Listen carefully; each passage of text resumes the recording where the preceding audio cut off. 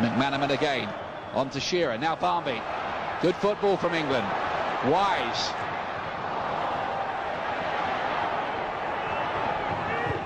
Redknapp. Goodness me, have you ever seen anything like that in your life from a goalkeeper? that is quite the most remarkable piece of goalkeeping I have ever seen. From the master of the unpredictable.